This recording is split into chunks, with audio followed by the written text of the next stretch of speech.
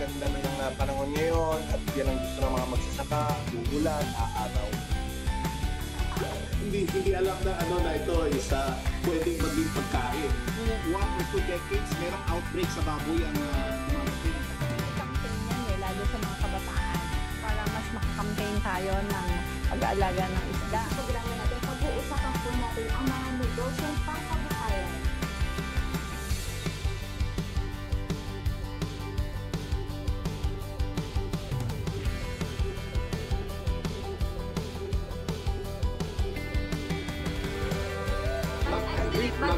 Na tayo.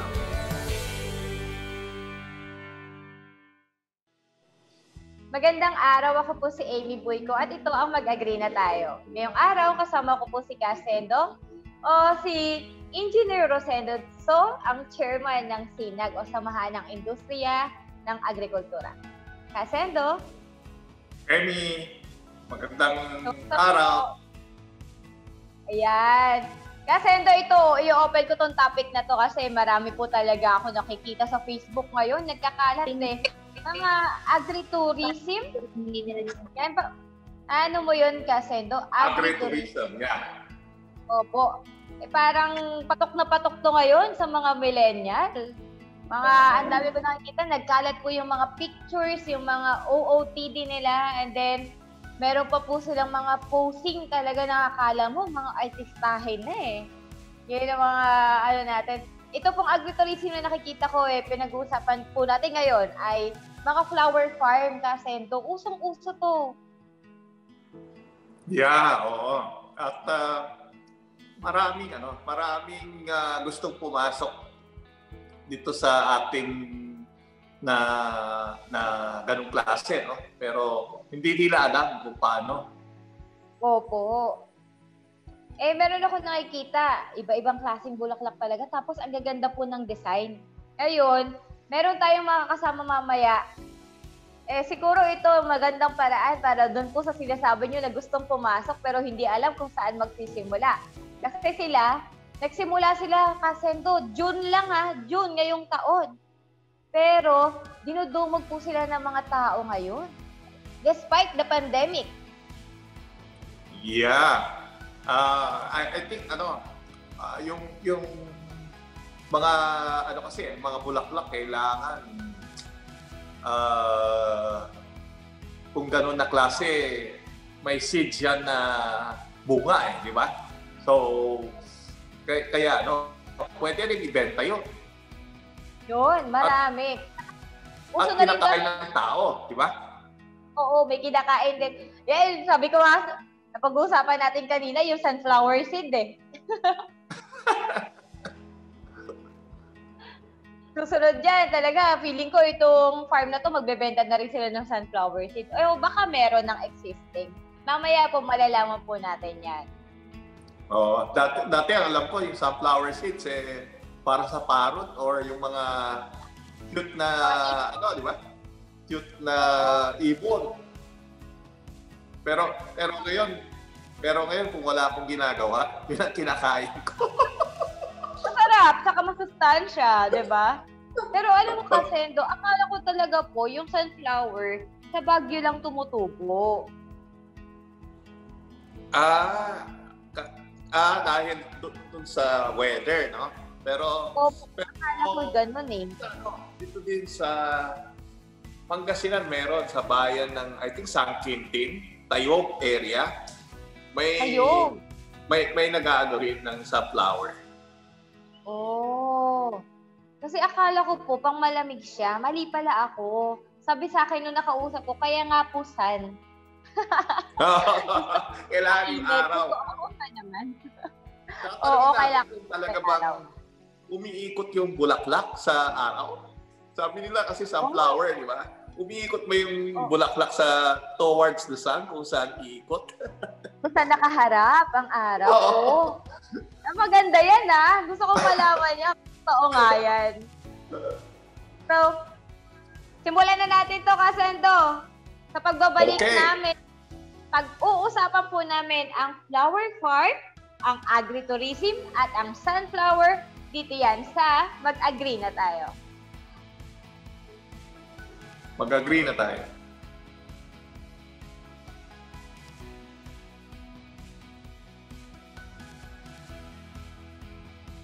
Nagbabalik po ang mag-agree na tayo. Tulad na nasabi namin kanina, pag-uusapan natin ang sunflower, agritourism, at kung paano ma-involve dito sa ah, larangang ito. Ngayong araw po kasendo, meron akong uh, naimbitahan at sila po naman ay tumugon sa ating imbitasyon. Ngayon po makakasama po natin, isa po siyang teacher at may bahay po ni Sir Mark Angelo Villaronte. At ang tatay din po ni Sir Angelo Villaronte, si Ma'am Princess at saka si Sir Panfilo Villaronte. Sila po ang may-ari ng Villaronte Farm dito sa San Antonio, Nueva Ecija. Hello po! Hello po, magandang gabi. Magandang gabi. Ma'am Princess, kwentuhan niyo naman kami paano ba nagsimula itong Villaronte Farm? Ano po, ting uwi kasi yung asawa ko, mahilig siyang maglibang kaysa lumibot-libot. Eh, may farm kasi sa likod. Dati ang mga nakatanim doon, gulay. Iba-ibang klase ng gulay. Dinaisipan niya, sunflower ang itanim. Na hindi naman niya iniisip na magkiklik ng ganun. Nagtanim lang siya ng konti-konti. Then, nung habang lumalaki, tina picture ng picture, yan, post ng post, dinadayo na rin ng mga taga dito hanggang sa Kapo Post, pati mga nasa malayong lugar. Nakikita na rin nila. And then, eh, free naman kasi noon, ang bayad. Kasi nag-lockdown din noon, eh, kahit lockdown, marami rin pumupunta. De yun, okay lang naman sa akin kasi kahit papaano natutuwa. Dahil nagugustuhan ng mga tao yung pinagpapagura niya habang doon. Oo. Siguro magtataka yung mga tao bakit ko binanggit si ano, Sir Mark Angelo kasi po siya daw po yung nagsimula talaga na to. Eh nagkataon ka Sendo, itong si Sir Mark Angelo eh nasa barko. Kaya ang kasama natin si Ma'am Princess saka si Sir Panfilo. Ayan. Nagsisiman kasi siya, sir. so, yun po. So, nagsimula kayo sunflower. Eh, kwentuhan niyo naman po kami, gaano po ba kahirap pagpalago ng sunflower? Ah, hirap magtanim. Madali lang po ba? Eh, medyo, ano po, medyo mahirap din. Po, eh, talagang ma, ma- ano, matrabaho. Umpisa pa lang, mm, buto. Ipupulaan namin yon. Hintayin namin ng mga one week bago namin ilipat sa sa ano sa taniman. Hindi naman lahat nabubuhay. Mga 50% gano'n na iba namamatay. Kasi minsan eh, ayaw din ng ano, yung maulan. May nasa sa ulan. yung tagulan na mapakahirap bumuhay. Sa Tagaraw po, okay na okay po. Ngayon, sa Tagaraw. Ngayon po yung mga tanim po namin ngayon maganda at maaraw. Ayan ka, Kaya- kaya, Pasok mo na yung sinasabi tanong mo. Yan na. Kaya Emmy, yung sinasabi mo yung sunflower sa Baguio mukhang mali yata. Kasi, Yun kasi po. konting araw doon, tsaka ulan ng ulan. Mas maganda pala rito sa baba. Yun nga. May- Yun. May tinatanong si ano po si Kasendo kanina sa opening natin. Ang tanong niya po eh, totoo po ba na umiikot daw po yung sunflower kung saan nakatapat ang araw? Totoo ba yun? Napansin niyo po ba? Oo, totoo po yun. Oh, Totoo po. Pagka po muna. yan, doon gumagawi. Pagkahapon, doon naman gumagawi sa kabila. no, ang galing. Talaga na amazing. power eh. Saan niya gusto talaga. Saan niya gusto humarap. Oo, ang galing. Kumisan po, magkakaharap silang ganyan. so magkatalikod. Siguro pagkakaharap kabate, pagka magkatalikod, baka nag-aaway sila. Away. Nag-aamin.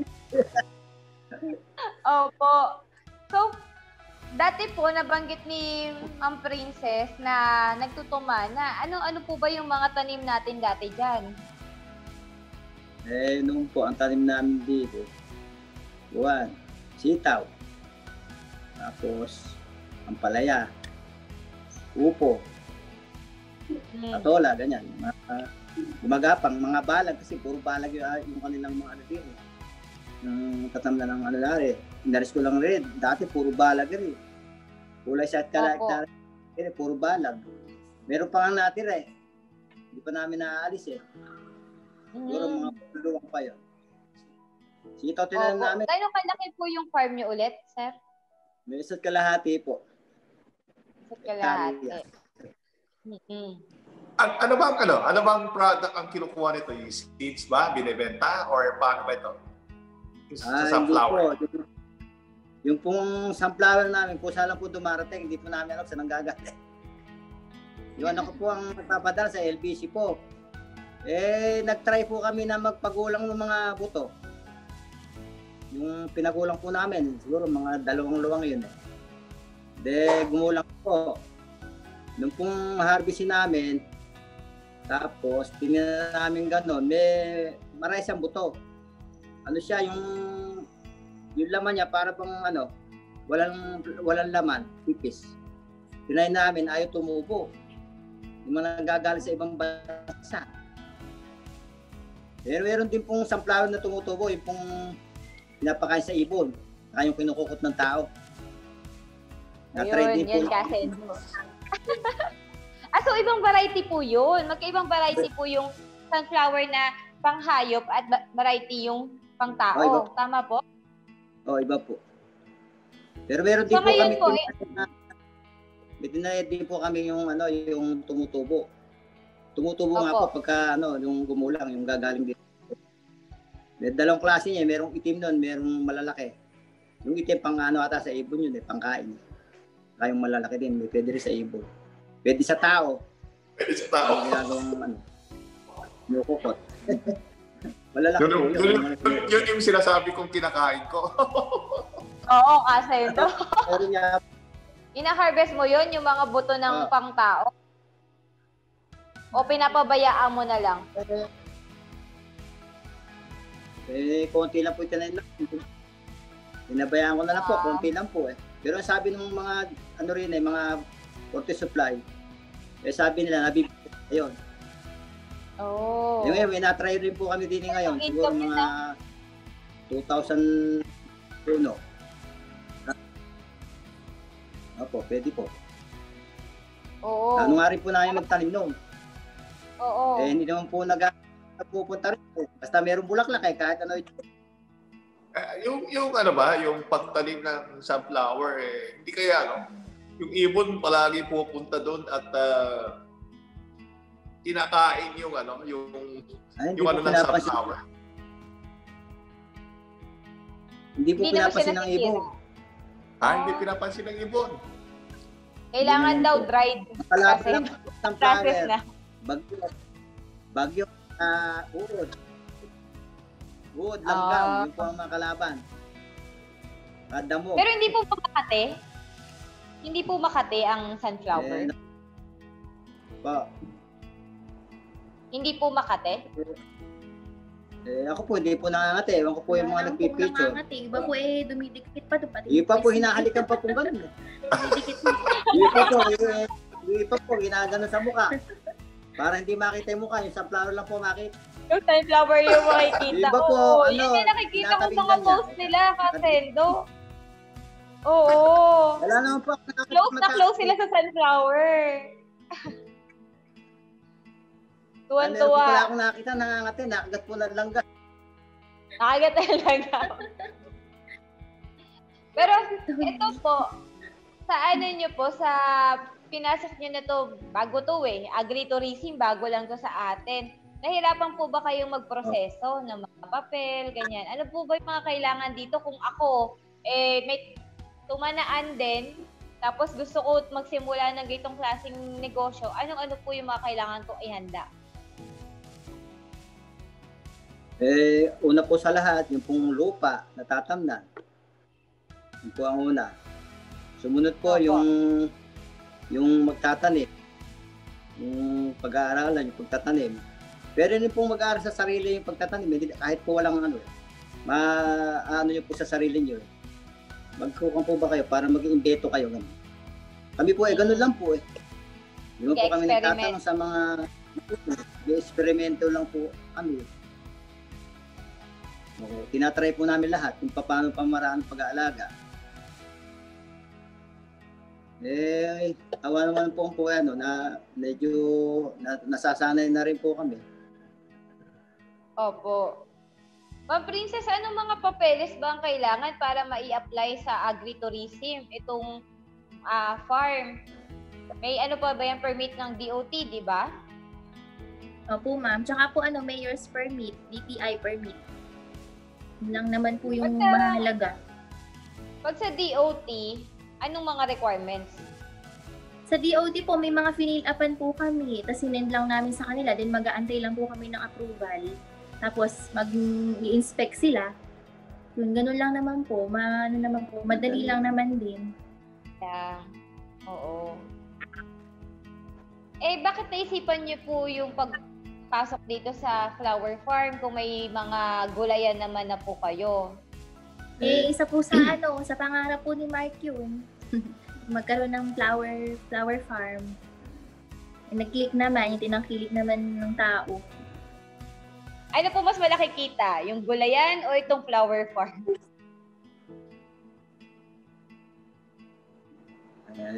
Depende ma'am sa season. Siyempre, pagka po yan tag-araw, medyo maraming tao kasi sa, gul- sa gulay po, halos fix lang din yung kita. Kahit ano po, mas mas malaki po syempre sa flower farm kasi mas dinadayo. Eh, kung gulay, fix lang naman po yung kita nun. Oh. Eh, pero, pero yung sunflower farm nyo, katabi mo mayroon. yung ah, yung gulayan, pasa ng gutom. ba? Wala kasi, endo, tinanggal na nila yung gulay. Ah, tinanggal na. Oo, Sabi po. talaga yung sunflower. Kaya nga napaisip ako kung ano mas malaki kita. Kasi, di ba, may mga nakakausap tayo, yung ma-jackpot sa talong, jackpot sa sili. Eh, ito, sa kanila, tinanggal nila yun eh. Naglumipat sila sa ano, sa bulaklak. Ah, Totally. Eh, kami po, nakaka ano rin sa gulay, konti lang po. Oo. Nakakaani rin kami. Hindi namin natap yung ano, yung magandang presyo. Mm. Ngayon po, meron din po kaming upo, konti lang. Nabuwal pa. Eh, okay naman po, Talaga nakagastos kayo na sa po. flower farm. Eh, baka kumu kumi Meron din pong gulay. Hmm. Upo po yung aming tanim doon sa tabing tanim, sa unahan. mm. Pero hindi po amin lupa yun, meron po lang po yun. Oo. Yung ginagawa nyo ngayon na flower farm, sa inyo po talaga yan. Opo, sa anak ko po, si, Ma- si Marco, at kay Princess. Opo, yan. Yun po ang una Eh. nilang pinsan lupa. Opo. Tay, nakita ko may mga design-design pa yung pagle-layout ng ano eh, paglatag ng mga bulaklak. Sino Opo, po ngayon po nakaisip? marami pong design. Hindi, Opo. ay, nakaisip muna si Mark, yung anak ko po, tsaka yung kapatid, tsaka yung asawa ko, siya. Kaya ikaw, Miss Princess, ang naghahanap nun, yung mga Yeah. design, tapos pinapagawa mo na lang.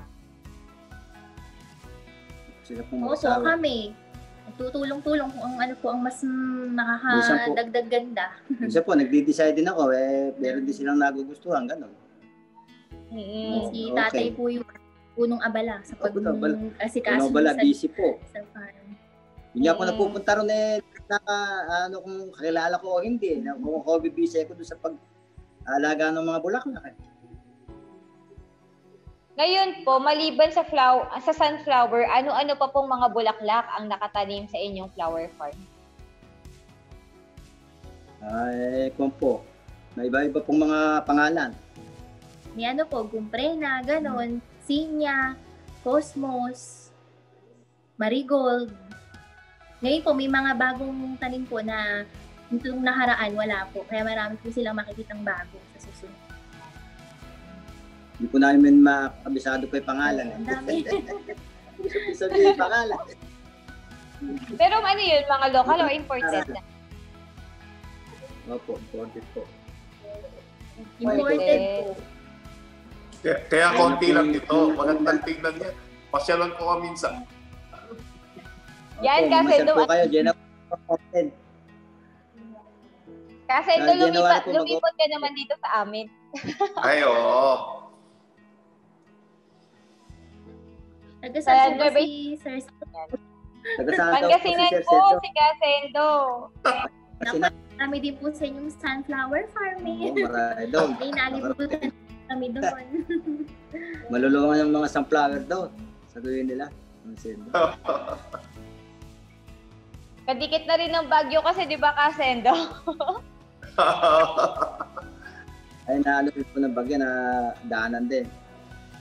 Di ba, yung Bagyo na lugar pong Bagyo. yung area ng Baguio. Lahat po ata pa rin na ano, ng bagyo na yun eh. Wala po ata pinirahan So, ayan po, speaking po of Bagyo, gaano kalaki po yung damage na nagawa ng Bagyong Ulysses sa inyong farm po? Ay, nalanos po, lanos. Hmm, lahat. Pula. Last natin na. Wala pong natira kundi pula. Kasi po naging sentro po itong San Antonio. Ilan, ilan Oo. days pa ano? Dito Ilan talaga days po. pa- ilan days ho yung sunflower na ano, pagtanim mo up to ilan days yung pagka mag-flower na siya? Buwan po, mga 3 weeks po, litaw na siya pag itinusok sa loob sa punlaan. 3 weeks po, nakaganon na siya. Sa punla pa lang po yun, di pa po nakatanim sa Pag po lilipat, pinakamatagal po mga 8 8 days, you know, 8 days. Pwede nang i-transplant plant yung ano, yung punla. Tapos yung paglaki, up to yung may flower na, ilan ilang buwan? Ah, kuwan po, mga pinakamaano po yung 50 days. Meron na po siyang ganyan, nakaganyan na po siya. Ibig na siyang ano, gumanyan. 50 days. Less than 2 months po. Ganun Yeah, less siya. than two months yan. Mabilis din pala, no? Eh pag naman po namulaklak siya, mga pinakamatagal po yung 10 days. Ano na siya? Nabuhay. Palipas na. na. Oh, Ganan niya siya, gaganyan na siya. Natutuyo na yung petals. Kaya kailangan po hindi nawawala ng ano, sunflower. Opo. Binibenta nyo din yan? Yung Oh. Ano mga, po yun, ma'am? Mahirap. bine, binibenta nyo po yung mga sunflower Ayaw. mismo? Minsan po, pagka po may gusto po, Opo. Minsan po flower lang. Pagka po sa ano naman, punla, okay lang po. Pero pagka malalaki ng nasa ano, paso-paso, wala naman po kami ganun. naliliit na. Mga, mga ano. Kadalasan po punla. Punla yung binibili nila. Magkano po ang bentahan nyo ng punla? Sakali. Ayun pong malalaki ng ganyan, naka-plastic na po siya sa ito. 60 po ang ano, benta ng anak ko. Anak ko po ang nag-aalaga doon, yung buso ko pong anak na babae. Sino naman po ang nagme-maintain doon sa mga bulaklak puro alaman. Po Opo. ang ano niya. Niya. So ito family business po talaga, no? Iba pong ano, yung lahat po ng mga lahat po ng mga andin yung mga bulaklak na tanim namin, meron siyang mga tanim na itinitinda po. Bago po Hmm. umalis yung mga ano, iba-ibang klase pong bulaklak. Daman. May kanya-kanyang bit-bit na kasendo pag uwi. Yung mga plantito, oh. plantita, tuwang-tuwa dyan. Nainganyo po kasi po nakita nila yung mga bulaklak magaganda. Ayun, nainganyo po sila. May nakita po ako mga piano pa po dun sa ano na naka-display eh. Sa mismo farm. Po, ano, yung po maganda po bulaklak no, isang orange saka yellow, ano po yung marigold po yun. Marigold. Masapyak. Marigold. Yung po ang nabagyo, napakaganda po nun, nung mabagyo yun. Sayang no. Pero pa-bloom na rin po ngayon. Nakapagtanim na po kayo ng bago ulit ngayon. Meron po, mal, unti-unti lang po namin natanim namin, ano, ala po kami yung dumarating. Eh. Yung, sam, ano po, yung marigold eh. Unti lang po yung naitanim na. Marami po, sunflower at saka yung celosia, yung matataas pong kulay pink. Madilaw, ganun. Matutulis na bulaklak. Opo. May nakita ako doon kasi endo, meron silang piano, meron silang butterfly, meron ding malalaking gitara. Kaya pag pumunta ka doon, gusto mo talagang magpa-picture. Yun yung itsura. Pero Marami pa kurang kami darating. marami pa. Saan po din gagaling yun? Pinapagawa po namin talaga, marami pa pong parating. Yun nga pong iba, kaya pumupunta kahit wala pang flowers. Yun po yung pinupuntahan nila, yung mga added attractions na yun, aside from flowers. Ngayon po may mga inaasahan kami, yung ano, telephone booth, yun mga ganun. Marami pa pong parating. Tapos moon. Ah, Tapos ang flower. Ang flower po picturean, yung ihagdan po yun. Tapos pipicture kayo sa taas. Oh. Isang flower na bulaklak po na picturean.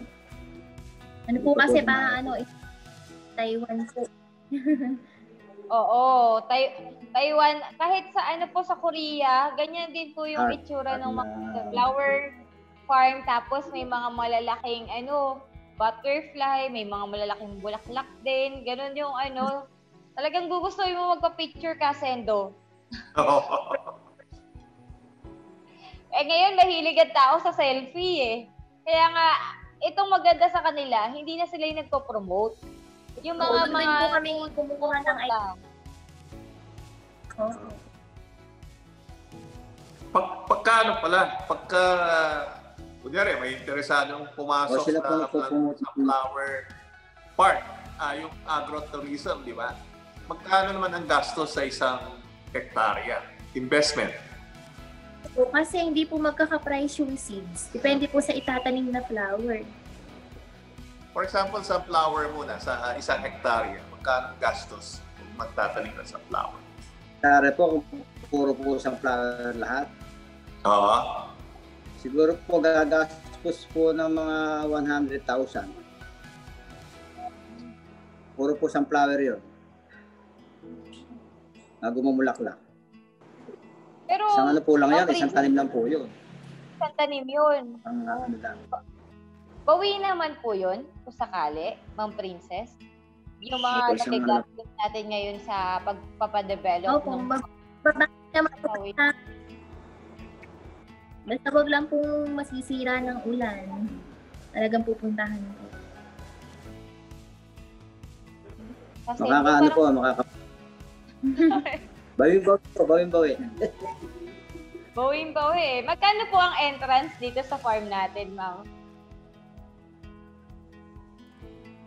50 pesos per head po. Kasi endo 50 pesos pa lang, bawing-bawi na sila. Ilang tao kaya ay pupunta sa kanila? sa isang araw po, gano'ng kadaming tao po ang bumibisita sa inyo? Hindi po pare-pareho eh. Gaya po pagka weekdays, konti lang po. Pagka Saturday, Sunday. Ang estimated niyo po na number ng tao pagka weekdays, ilan po? Ah, ano po, mga pinakamababa po, isang daan, gano'n. Isang daan. Tapos Dalawa. pagka weekends, Mga kung po siguro, mga 300, ganyan. Mga gano'n, mahigit 300. Pagka weekdays. Ah, weekdays. Pag mga, po weekdays, di po less than, ah, Ano lang po. not less than 50 persons po. hmm, tapos Kasi po, 50 may-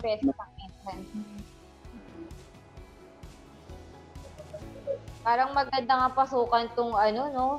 Pero 100,000 pa rin yan eh. Pero may isip ako. Pero Ano parang maganda. Oo nga, Ma'am Princess eh. Kasi sa, sa lugar natin, di ba, sa Nueva Ecija, hindi naman ganun kadami ang nagbubulaklak eh. Kaya ito sa inyo, isang magandang addition ito din sa ating lugar. Dito po sa Ano po ulit, Antonio, dito lang po, ngayon lang po Kaya, ito. opo, kami naman ang tayo. Kami lang po Opo. rito sa San Antonio na may power pa.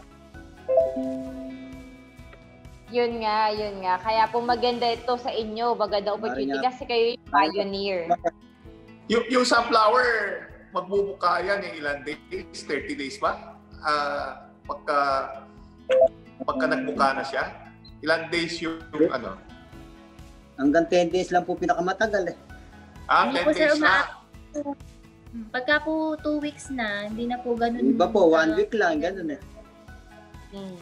So, so Yung dapat mga hindi pula- sabay hindi sabay-sabay yung pagtanim. Opo. O, hindi po sabay-sabay. Kailangan Oo. po eh, hindi sabay-sabay. Yung kunyari, kada sampung araw, ganun. Ang pagitan. Mm. Para Para hindi mawala. na una, yun, may inaantay na ulit. Hindi masyadong matagal ang pagitan. Oo, kasi kunyari sa isang hektarya, ah, sa isang hektarya, kung 50 pesos ang tinatanggap nyo sa 30 days kasi mga ano eh, dapat 66 na tao ka per napapasok para break even yung 100,000. Di ba? Ah, Opo. minimum dapat 66 na tao. So, so dapat yung pagtanim mo, hindi lahat sabay-sabay.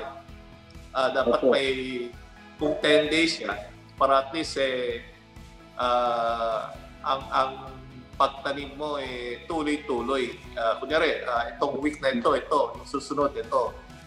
Para palagi may sunflower kayo. Opo. Wala pong pagitan ng pamumula.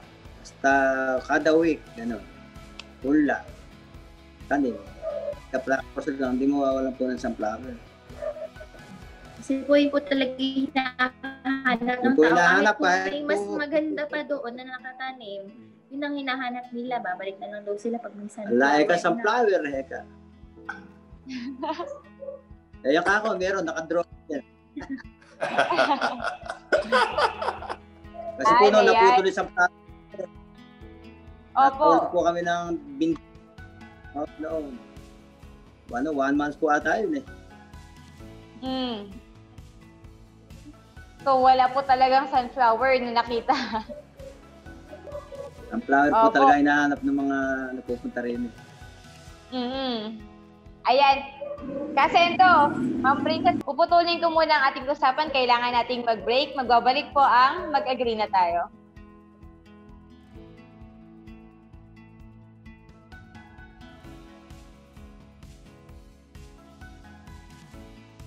Nagbabalik po ang mag-agree na tayo. Yan, tuloy-tuloy po ang usapan natin tungkol sa Sunflower Farm at sa Villaronte Farm. Ayan. Tanong ko, Ma'am Princess, sa dami ng bulaklak na meron po kayo ngayon at sa sunflower, paano natin ito inaalagaan? Eh, kasi ang ano ko din eh, kasama ko, uh, bale apat kami. Opo. Yung kanya-kanya kami ginagawa, yung isa nagdidilig pagka mainitang araw. Oh, yung isa nag, nagkukuha, naguhuli pag may patay na, na ano, tanim. Ako naman, nag-aararo. Pagka may tanimin kami, nag-aararo kami. Roto ako maliit eh. Yung Opo. bawang roto po ba, yung roto better na de gasolina. Ako ang nag-aararo noon. Opo. Tapos yung isa po, nag spray gano'n. Pag po kani po yung kailangan ano, gawin, yun po ang ginagawa namin po para po yung halaman, hindi po ma pabayaan. Kasi po pag po na na, na ano na insekto, yun po, nabuburit po yung aming ano, halaman. Yung mga sunflower po. Opo. Yun po. Ano po mas mahirap alagaan, yung gulay o ito pong mga bulaklak? Parang parang mahirap po yung bulaklak eh. parang nahihirapan po. Opo. Parang pag-give up na kayo, Opo. atay. Pero pero po kahit nahihirapan ako pag nakita ko po siyang mga naka ano, sa umaga po, naka nakabuka. Ay, Oo. nawawala po yung pagod. Yun Nawawala po naman. yung ano, Nakakita po niya yung pinaghihirapan. naghihirapan po. Ah, pakaganda po ng bulaklak. Oo. Ay. Diyos ko pala ako, napakaganda pala ako, kaya pala ako sila nagbibitanis ng bulaklak. Mm-mm. Saka mabango. Mabakos. Tay, mabango. Eh, mabango rin po yung iba. Halos orderless naman. Yung pong marigold, order pag po, pag po yung marigold na, na ano, pag ordinary po, mabaho yun. Pero yung amin po ano, wala pong amoy, pero hikuin niyo po, meron po amoy bagya. Mm. Alam po yung marigold. Yung ano, Yan. variety. O, insekto po yata yun eh. Kaya may amoy eh. Hindi naman po mabaho amoy. Ayun kasi, Hindi ano po po kasi yun? amoy nung ano natin, yung marillion. Ba? Yung, yung ano pala, di ba may ibang mga flower doon, di ba? Hindi lang flower. Mostly, ano ba yung, pino, kinu, ah, binibili ng ano, binibili ng mga mga tao, anong klaseng bulaklak ang popular? Sunflower Yes. po. Kasi yun po talaga ang mas kilala eh. Kahit po buto, binibili nila yung kung di pa pa tumutubo, yung nasa ano po, nasa pack, gusto binibili nila. Yung pong buto. Yung sunflower. So, Tsaka talagang ano, po yung ano, yung marigold po ang mabili, yung marigold. Marigold. Saka sunflower kasi Yung ito. oo. Yung po ang popular, yung marigold, mga sunflower po. Yung ano pala, yung area na tinatamnan nyo ngayon, di ba? Ah, may inisip ba kayong ibang itatanim pa para at least eh, ah, ma, ma, maiba naman yung pu- pupunta dyan eh. Baka sa, sa- yung mga iba sabi, ay, puro sunflower na lang. May Ay, iba opo, pa marami po. inisip. Marami po kami itatanim na iba-iba. Ngayon lang po Wow. nilang makikita na yun. Iba-iba po. Coming soon. By January po. Oo. Oo, By. January. Po. Eh, yung... Yung rose ba? Pwede ba dito yan sa atin? Mga rosas, ganyan? Ay, pwede po. Kaya lang po, mahirap pong buhayin nyo.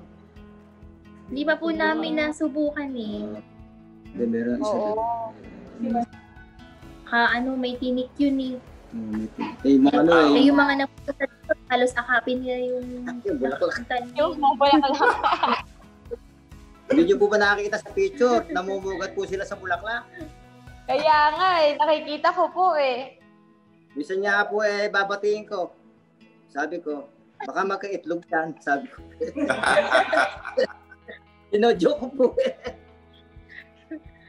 Opo. Pero karaniwan po na pupunta sa inyo, ano eh, no, mga kabataan po. Bata. Yun talaga ang market niya. Minsan niya po Kasi- eh, ano eh. Minsan niya po, dadaan ako eh. Tay, pwede po ba pa-picture? Sabi. Oo, oh, ako, pwede. Minsan eh, sa shot ano, mga tatlong shot. O, hindi ka pa, pati mo na para may tawad. Sabi ko, Pero dapat time kailangan mag-aral ka na ng pagpipicture kasi sa ibang bansa, yung mga ano, talaga pinag-aral nila para perfect ano, perfect shot. Sabi nga nila. Dagdag attraction din yun. Papong ano eh. Eh pagka nga po nag-picture ako, lahat po ng pinicture ako sinasabi, Tay, ganda mo mag-picture ah. Eh, sa- Ah. Pwede, pasado na. Sanay na po, sanay na po siyang umanggulo. Oo, yung Maangulo. tamang anggulo. Yan. Kasi endo, may hawak ako, oh. Wow! Ang sarap niyan. Sunflower po, sunflower seed. yung pandao. Ayun. Mahal po yan. Mahal siyang supot niyan. Hindi ko po alam. Nakikikuha lang po ako dito ngayon eh. 100 po Wow, yung oh. Yung po Ay. malaki niya, 100 po. Ah, Yung ganun. malaki po, yung luto na. Opo, ma- mahal pala to kasi. tindahan po, hindi po kami pinapapak mo. Opo. Eh, paano yan, ano tayo, yung mga pataba ng mga halaman natin, iba-iba din ba yan? Kasi iba-iba yung mga variety ng bulaklak natin. Iba-ibang pataba. Opo, iba-iba po. Iba-iba po ang mga pangalan ng, bula, ng mga ano, pataba. Meron pang spray, may pang sa, ano, pang dirik sa lupa. Urea, ganun. Mga biking na pataba. Um, 16, ganun. 17, 14, ganun. Mga ganun. Iba-iba kasi hindi pwede yung puro yun eh. Baka magsawa, magtampo sa amin eh. Opo. Eh, ano naman po yung karaniwang nagiging parang peste diyan sa mga alaga niyong bulaklak? Nako, kuwan po, yung langgam po, langgam. Langgam. Ah, Ruod, tsaka langgam. Hmm. Yung po ang nagbibigay ng ano, yung para po bang kuto kong tawagin. Pag po maliliit pa, eh, yung pong dahon na gano'n, kumukulubot pag kinagat nila. Pero meron po kami pang ano daw, pang spray. Ano po ang pinang-spray niyo tayo? Ah, yung pang uod. Ginagamitan din namin ng ano, yung pang fungicide. Kasi ano rin, matako siya sa kakagatin yung dahon niya, ano siya, yung parang kakaroon ng patse, ganun. Fungicide, ang gumagamit din kami nun. Kunyari, Oh. kuha, yung dahon eh, ganun. Yun ang gamit. Para rin ano, alaman na ano eh, gulay, ganun. Opo. Mag-ialang ang depresya sa gulay, ganun. Hindi na pala sa nagkakada yun. gulay, kaya hindi na Lagi ako nalilipasan ng gutom sa gulay. Bakit naman, tay? Gulay na nga yun eh.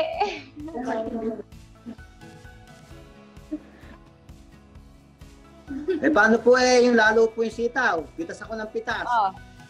Eh alas tres na po pala, hindi ko pa alam eh, di pa ako kain. Nalilibang po kami ng pitas. Ibig sabihin, marami kang pinipitas. Kaya nal nalipasan na. Oo nga po. Eh, hindi ko iniwanan hanggang diyare. Opo.